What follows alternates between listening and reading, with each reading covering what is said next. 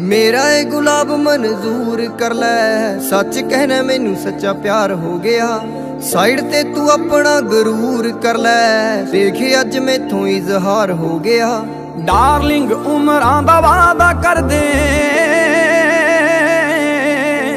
Darling ਉਮਰਾਂ ਦਾ ਵਾਦਾ ਕਰਦੇ।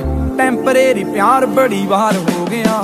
ਰੋਵੇਂਗੀ ਮੁਕੱਦਰਾਂ ਨੂੰ ਹੀਰੇ ਮੇਰੀਏ। ਜੇ ਹੀਰਿਆਂ ਦੇ ਹਾਰ ਜਿਹਾ ਯਾਰ ਖੋ ਗਿਆ।